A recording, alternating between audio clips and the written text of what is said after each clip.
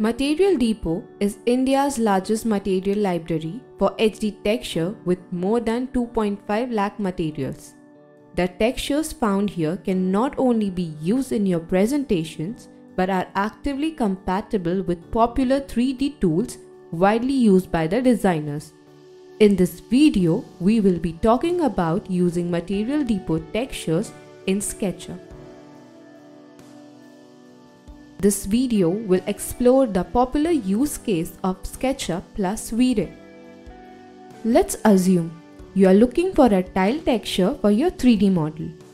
Under Categories, you can browse through multiple real-time options. And once you have selected the tiles of your choice, you can download HD textures and texture map in just a few clicks.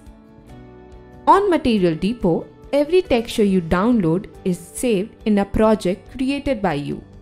This is done to ensure that your material discovery journey is well documented and ready to be referred to later. Once you have downloaded a texture, it gets downloaded as zip file.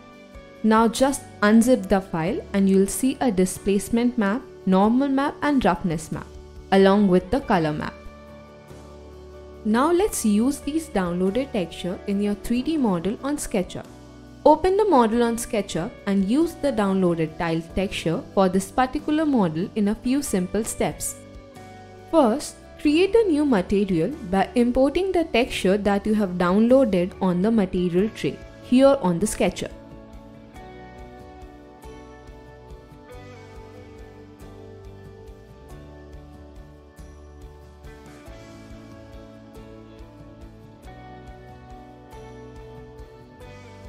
And then do the necessary adjustment in the size of the tile texture. The texture is now ready for the surface of your model as shown here.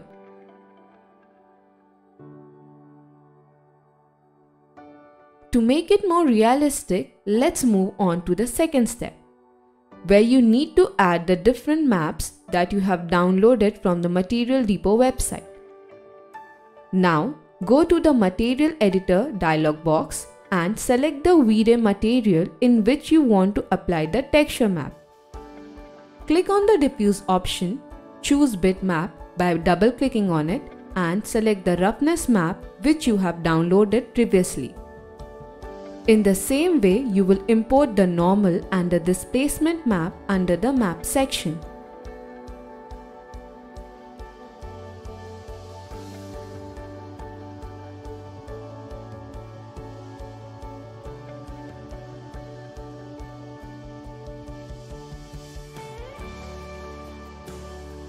And finally, click on Render under the V-Ray Extension tab and get the realistic render you always wanted.